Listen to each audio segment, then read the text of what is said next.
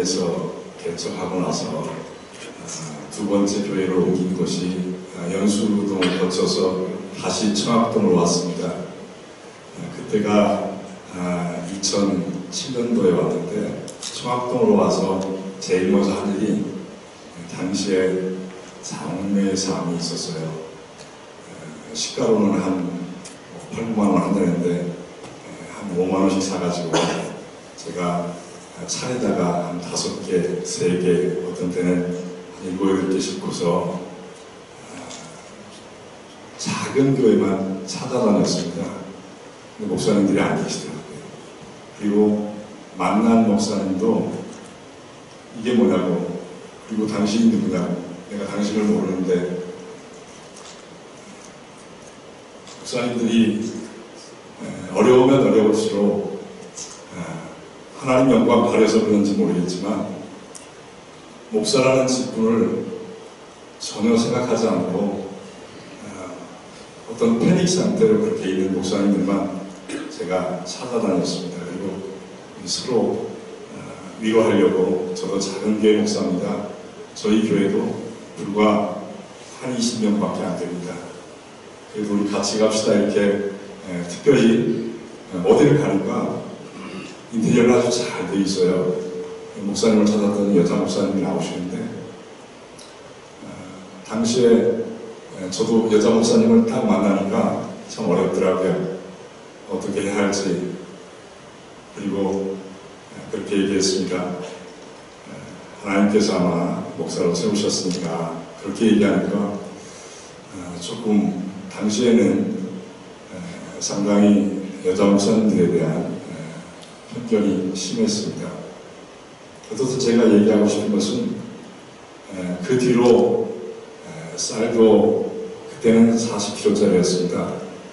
40kg짜리를 처음에 들고서 이렇게 지하를 내려가다가 돈 무거워요. 그래서 20kg짜리를 바꿨습니다.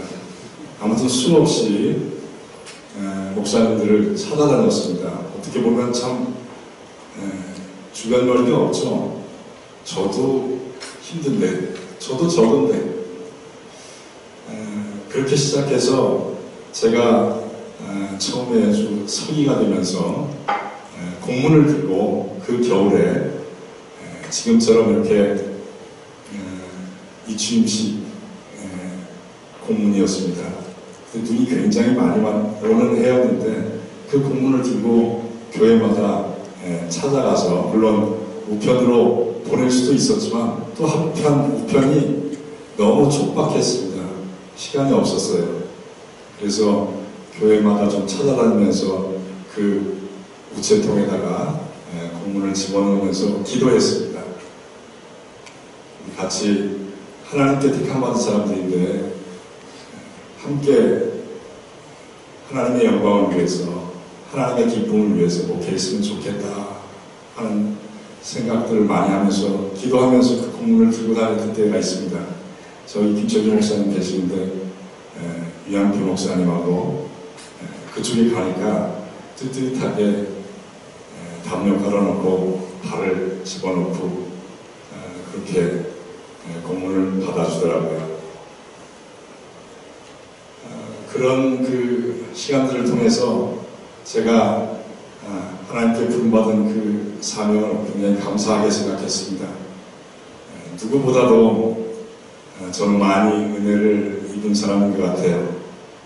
그리고 아, 목사님들을 서로 같이 목회자로서 특별히 작은 교회 목회자들을 서로 같이 함께 할 수 있는 그런 길들을 열어보고자 그리고 또 그분들에게 목회자로서의 가장 영광스러운 자리인 것을 다시 한번 각인시켜보고자 많이 쫓아다녔습니다. 근데 그 시간이 아련한데 지금 이 자리에 왔습니다. 앞으로 그런 시간들이 더 어, 많아졌으면 좋겠습니다. 물론 이제 저도 시간이 없는 사람이 됐지만 더욱더 제가 다른 시간보다 여러 목사님들과 함께하는 시간들 그리고 목사님들에게 하나님의 위로를 전하는 그런 시간들이 훨씬 더 저에게는 귀중한 그런 사역인 것 같습니다.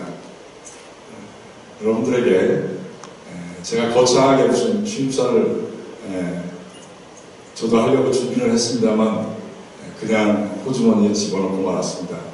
여러분들 얼굴 보면 같은 목회자로서 에, 정감이 가고 또 많이 힘들겠다. 제가 힘들어 봤으니까요. 그리고 지금도 힘드니까요. 그러나 바로 그 힘든 가운데서 하나님의 형상을 닮아간다는 것과 또 하나는 하나님을 선포할 수 있고 하나님께 우리에 맡긴 그런 하나님께서 맡긴 사명들을 잘 감당할 수 있게 해달라고 늘 기도하면서 한 사람 한 사람 이렇게 만나고 있습니다. 더욱더 이 자리 그리고 앞으로의 모든 시간들이 서로 잘 협력해서 하나님의 기쁨이 되는 그런 자리를 만들어 가겠습니다. 다른 건 잘 모르겠습니다. 하지만 많은 목사님들이 모이기를 원해서가 아니라 그 목사님들끼리 가장 가장 아름다운 그런 시간들을 추억들을 만들어 가고 싶습니다. 앞으로 그렇게 하겠습니다. 감사드립니다.